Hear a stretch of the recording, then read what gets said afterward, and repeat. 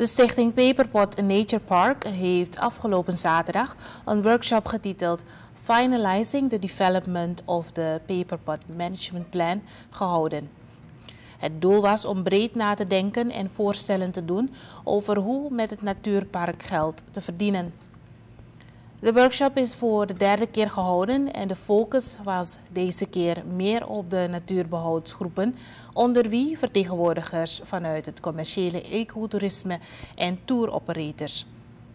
Het bestuur van Paperpot Nature Park en het managementteam hebben samen met de participanten de mogelijkheden bekeken hoe op duurzame wijze voldoende geld te verdienen om het beschermd gebied te blijven beheren.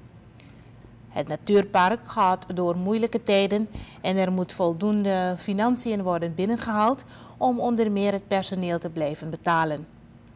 De volgende workshop is met het bestuur, de donorpartner WWF en de consultant die dit project helpt begeleiden. Ook de groep die het businessplan helpt ontwikkelen zal hieraan deelnemen.